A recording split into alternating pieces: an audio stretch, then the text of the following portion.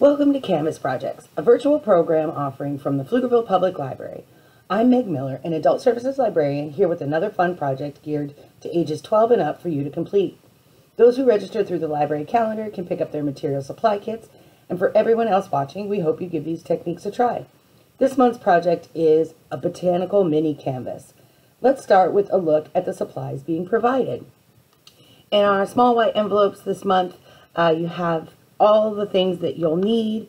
We've got our mini 4x4 canvases that come complete with a little easel that you can um, display your work on later. We've got a little bit of Mod Podge as well as a foam brush. Um, in your kits, there are some white tweezers. I had just enough for kits, so today I'm going to be using just some tweezers we have here at the library. And then there, uh, you'll have a small um, folded in half piece of cardstock, and inside will be your dried flowers. Um, everyone has just kind of a random supply. So really, your first step is honestly going to be deciding how you want your um, mini canvas to be designed, kind of laying out uh, what you've got. If you decide to go out in your yard or local to you and grab and dry out yourself um, some local flora. That would be kind of a really cool thing for this project as well. Um, but for today's video, we're going to get keep it pretty quick and just go ahead and um, do with what we've got here. So these canvases do have a plastic cover on them, so you will definitely need to remove that prior to starting your project. So I get my plastic off. I'll take that to the recycle in a little bit. And I love this one, um, both for how it looks as well as kind of the simplicity of getting it going. Um, really, I'm just going to take some of the podge here and lay myself down a nice little coating onto my canvas, just really thin. Uh, looks like this is the foam brush I used the last time. It's got a little bit of dust in it. No worries. Um, and lay out my design. So I've got kind of some, some real purpley red, magenta. Um, I have in here, looks like it might have been a rose or a peony perhaps. Um, and you can see that I've already lost some petals on that. So I'm actually going to incorporate that straight into my design and giving this laid down. Oh, see, I just lost another petal. And I am just going to use that a little bit out. Grab some more petals as if they're falling off. Almost, you remember the uh, Beauty and the Beast movie when the rose petals start falling? That's right. Notice, oh, where'd my other petal go? It's still stuck to my finger. Using the tweezers, I can really get these petals laid down without having them fall off or stick to my finger. There's my other. And I want to use some greenery below here. I'm going to slide this under just a smidge so I still have that curl on the top. And we're going to come over the top of this with our uh, Mod Podge at the end to really seal it in. So I'm not too worried that this piece really isn't sticking down that much. Although before I do my top sealing, I'm going to go back to it. So I've got a little blue flower here. Um, let's see.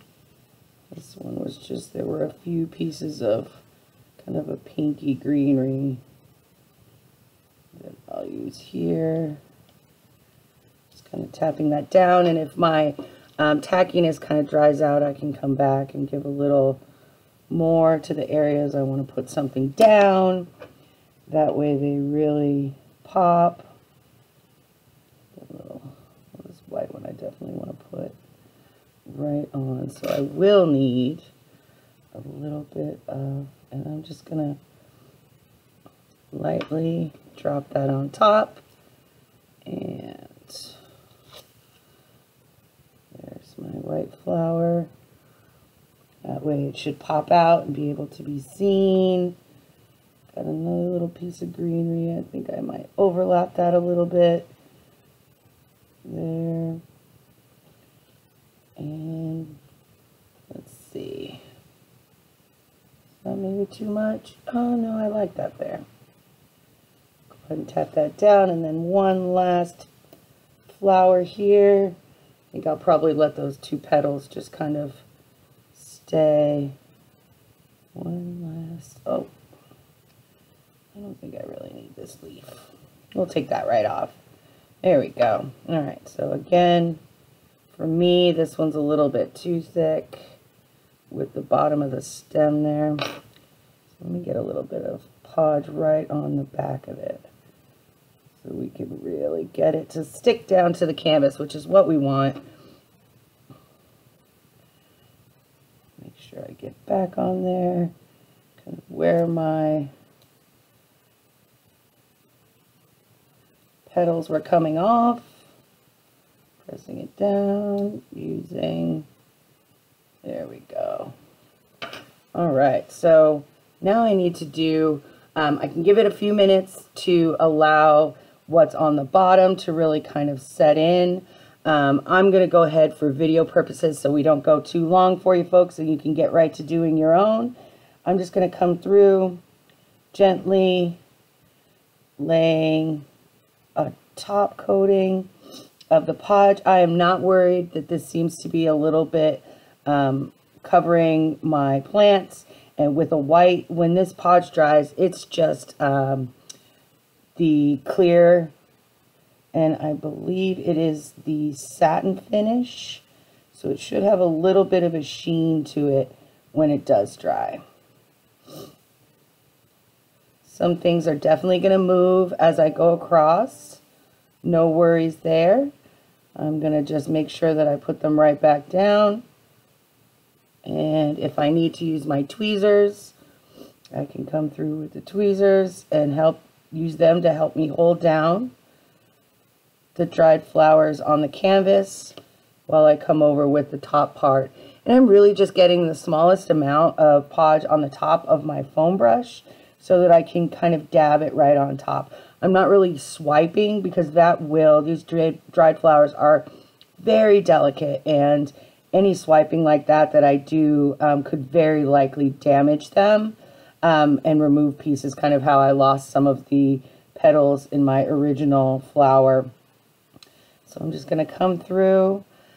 After I give this layer some time to dry, I can also come back through again um, once it's really sealed on there and do, if I don't like how um, kind of dabbing has left maybe not a smooth surface, I can come back again with the podge that I have left over and really um, smooth out this surface. And then with that protection, I'll have no problem doing a um, brush stroke motion when I come back through. And now this flower definitely is going to take a little bit more um, and that way I don't lose as many petals.